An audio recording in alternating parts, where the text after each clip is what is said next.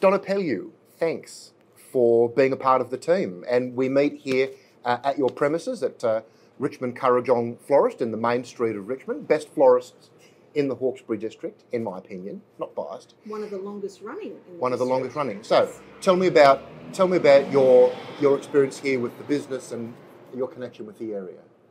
I've lived here forever. Moved in 1978. Went to primary school here. Went to Windsor High School.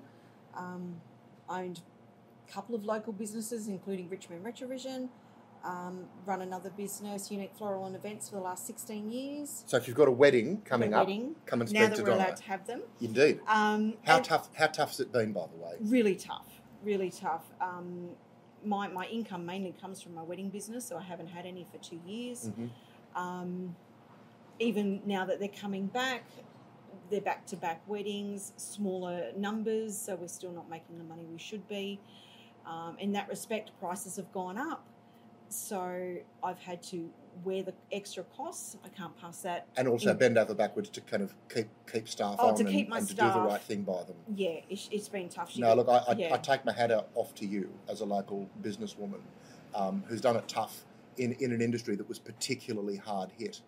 So, Donna, tell me about tell me about what you think is important uh, coming into the council elections in December. I, I think we have to look back at our community, not worry so much about uh, having Liberal and Labor in. It needs to be more independent, um, more concerned about what we need as a community. Well, how can we help our local businesses? How can we help local charities even and, and move forward? Well, Donna, it's an absolute pleasure to have you on the team Thank you. and to draw on our very long friendship. Very long. Indeed, to do so. So, Donna Pellew was a part of my team for election to Hawkesbury Council, and we hope that you know meeting the team will help you make uh, an informed decision. Thanks for watching. Thank you.